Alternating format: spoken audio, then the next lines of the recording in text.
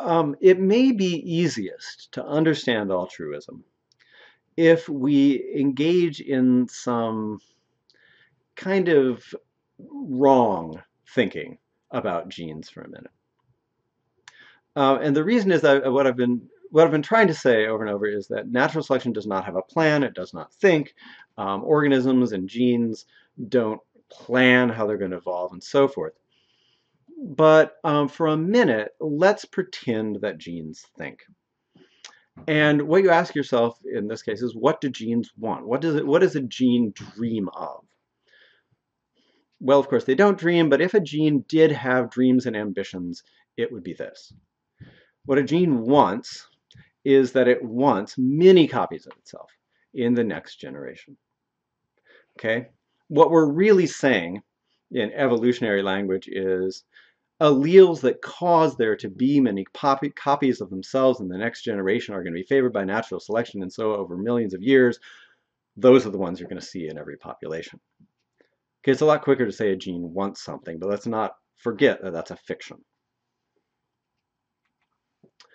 What's interesting is that the gene doesn't really care which individual those copies come from. As long as there are many copies of an allele in the next generation, it's going to have an advantage in terms of natural selection. Okay, but it doesn't matter who passes on those alleles. Okay, again, this is shorthand for something that is much more longer and complicated, but please don't forget that it is just shorthand and that alleles and genes, uh, it's very easy to slip kind of unconsciously into thinking about alleles or genes as things that plan and want. Okay, so let's take this again into the concrete example with uh, the hedgehogs. There's a particular allele in this hedgehog. Now, when this hedgehog has babies, half the time, it or half of the time when it has a baby, that particular allele is going to get passed on to that particular offspring. So alleles that in general help their organism survive and pass on those alleles will tend to do very well. Okay? But the other thing that an allele can do is that it can cause its organism to help close relatives reproduce. So if the hedgehog on the left performs some altruistic behavior towards its close relative on the right, and if the two of them share that allele that caused the organism to do that, then when that close relative reproduces, that same allele that is over here is going to end up in this offspring. Indirectly, this is reproduction. So this allele just got another copy of itself into the next generation, even though this particular physical allele did not come from this particular individual. What natural selection is going to maximize is direct reproduction plus indirect reproduction. The number of alleles that this allele manages to pass into the next generation.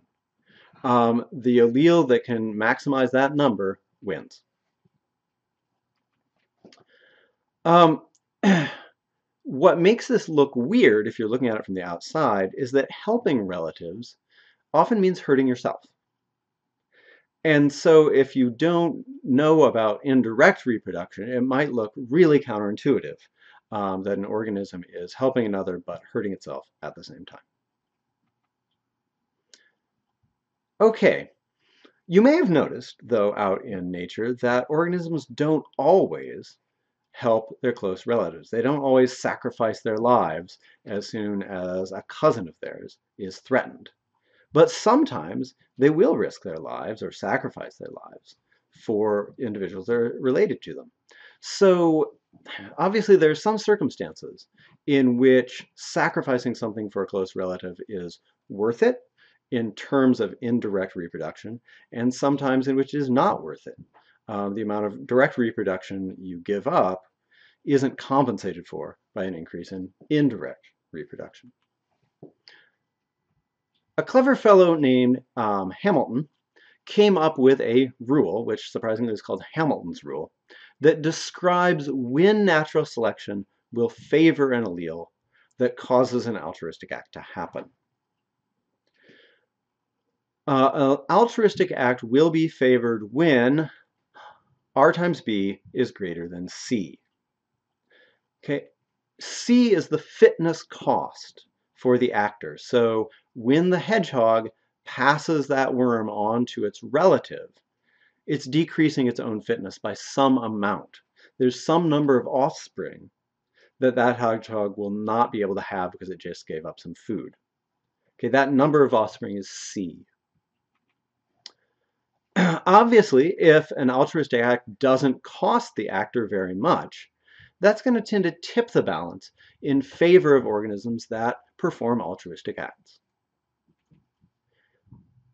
Okay, if the benefit for the recipient is large, that tips the balance in favor of the actor performing altruistic acts also.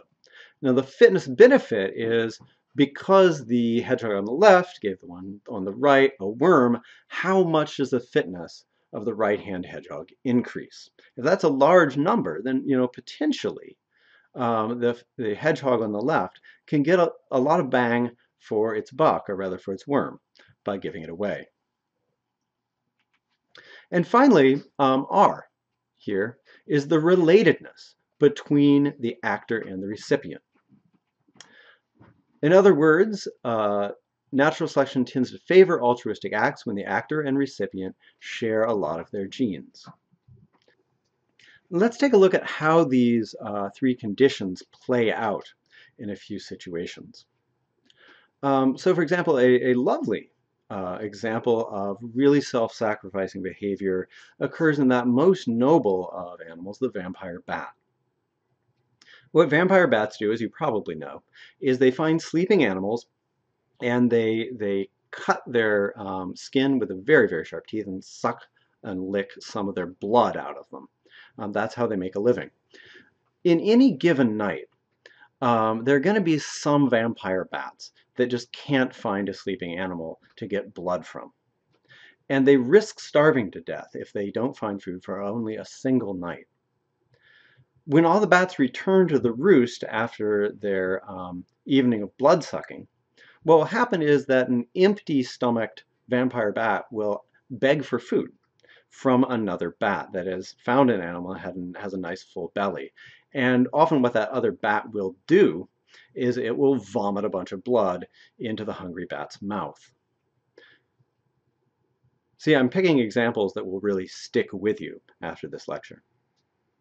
Um, at any rate, this is um, one of these situations where it makes a lot of sense for organisms to do this because the actor is not giving up very much. They're giving up some of the blood meal they've got, but they've already got a really full stomach um, it's not going to cost them very much to give up a little bit of that. On the other hand, they're saving the recipient's life, so there's a big fitness benefit on the other end of the transaction. So very little cost to the actor, very large benefit to the recipient. Um, this is one of these cases where altruism is really favored. Many times, the way, we see altruism uh, manifest itself in wild populations is you get individuals helping their close relatives raise offspring. And it turns out that this is also one of these situations where there's usually a high benefit for the recipient uh, and low cost for the actor. It looks like uh, individuals that stay home to help their relatives reproduce are incurring a big cost to themselves because they're not going out and raising their own offspring. So it looks like they're sacrificing a lot of direct reproduction. But often what's really the case is those individuals who are staying and helping their relatives are inexperienced individuals that have very little probability of successfully getting a territory, finding a mate, and rearing offspring on their own. So they're not actually giving up much of an opportunity by staying at home. By staying at home, they can really increase the number of their close relatives who survive to adulthood. So small cost, large benefit, that favors individuals that stay at home and help their relatives. Um, and finally, anytime that organisms share a lot of genes, they are natural selection is going to favor more altruistic acts uh, between them. And uh, this is a place where an idea that you've already heard about um, comes right on back and visits you again. It's R, the inbreeding, um, or not, sorry, the inbreeding coefficient. Um, R, the relationship between two individuals, is the same that we, as we saw, um, bah, is the same number that we saw being called F in the context of inbreeding. Um, a mother and an offspring, or a parent and an offspring, share half of their genes. So R is one half. Uh, full siblings share half of their genes. Um, half siblings share a quarter of their genes, and cousins share one eighth. As the relatedness coefficient, as R goes down, um, actors that sacrifice something to help the recipient get less out of that sacrifice because it's less likely that the allele that causes them to make that sacrifice is actually found in that close relative. If there's an allele out there that causes an organism to save the life of its uh, full siblings, um, then every time that that happens, every time that an individual with that allele saves the life of its full sibling, there's a 50% probability that it saved another copy of itself from dying. But if you've got an allele that saves its cousins from dying, um, every time that an individual saves a cousin from dying, there's only a 1 in 8 chance that the allele that caused that to happen is also found in that cousin whose life was saved. So um, there's basically there's a, a lower evolutionary payoff when you help distant relatives.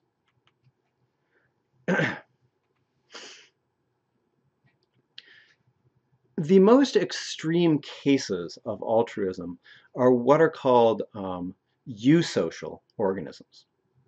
In eusocial colonies, most individuals do not reproduce. They help one or a few individuals in the colony reproduce, but they have zero direct reproduction. And the most famous example of these are honeybees, but there are also a lot of wasps and ants that do this. One of the reasons, it's not the only one, but one of the reasons for this is that the sex determination system in these insects is very unusual. And this is something uh, that we touched on briefly with a practice question in the population genetics section of the course. In uh, these organisms, in this in the family Hymenoptera, uh, sorry, the order Hymenoptera, um, queens and workers are females, and only the drones are males.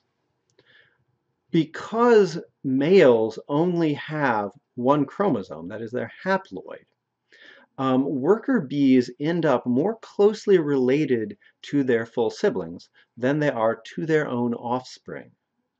You can work through the math if you want to, but um, what you see here is two worker bees. Um, from the same colony. One of these may go off and be a new queen, and but this is a sterile worker over here.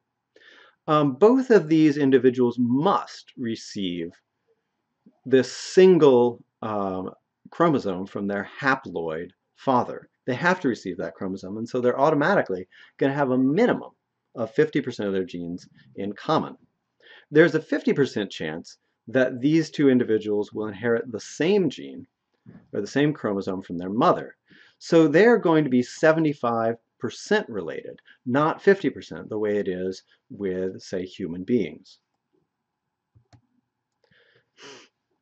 What this means is that in honeybees and ants and wasps, um, individuals are going to be much more strongly favored when they help their siblings. And that's basically what something like a beehive is set up to do workers help to rear lots of siblings, new queens, that will go off and found new colonies.